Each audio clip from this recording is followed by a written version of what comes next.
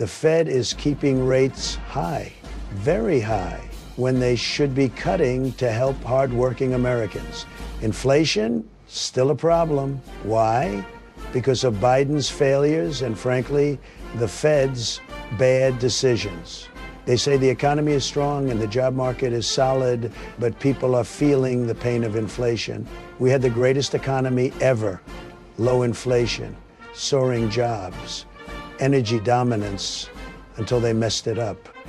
I'll fix it fast. Unleash American energy, slash regulations, fix terrible trade deals, bring back manufacturing, and make this guy do his job right.